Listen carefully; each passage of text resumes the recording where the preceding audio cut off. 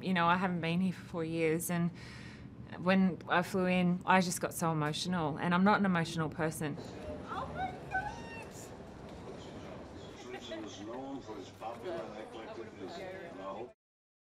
hey, good evening and welcome to Key Arena. It's a big night here for all Seattle Storm fans as we will recognize the three-time MVP, number 15, Lauren Jackson. When you talk about Lauren Jackson and the city of Seattle, in terms of the legacy, I, I don't even know where to begin. Scoop Lappin in! Oh, Lauren Jackson, you're so good! Three-time WNBA MVP. She is the Storm's all-time leading scorer and rebounder. She played all 12 of her WNBA seasons in Seattle. If you asked whether it's anyone from her teammates to the fans, she's going to go down as one of the best players they ever saw play live.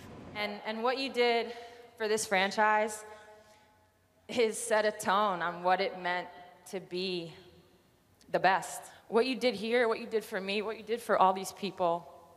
I know it didn't end the way you wanted, but don't let that change all that you did here and all the lives you've impacted.